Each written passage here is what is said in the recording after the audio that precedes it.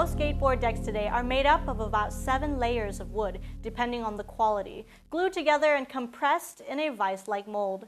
Using design tools, Rhino and Grasshopper, the Cavity Boards team built their first board up layer by layer, not dissimilar to the process of traditionally manufactured skateboards.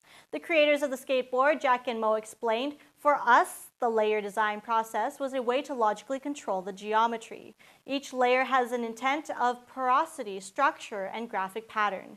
We can stack and even merge the different layers to form a cohesive body. 3D printing has added benefit of yielding an intricate product that wastes less material, as they say. 3D printing the skateboard had a scale ratio of 1 to 1. The printed object wasn't just a tool for representation, but came out of the printer as a functional piece. This was made possible by Solid Concepts using the Fortus 900 MC Industrial 3D printer, the largest FDM platform available.